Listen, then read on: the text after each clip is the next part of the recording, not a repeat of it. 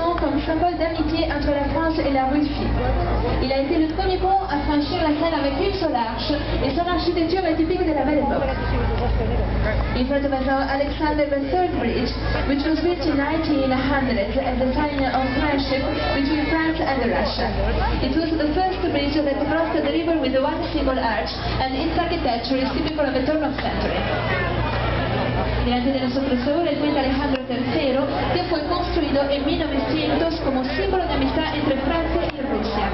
Fue el primer puente a cruzar el Sena con un solo arco y su arquitectura es típica del arte de l'época la Belle Époque.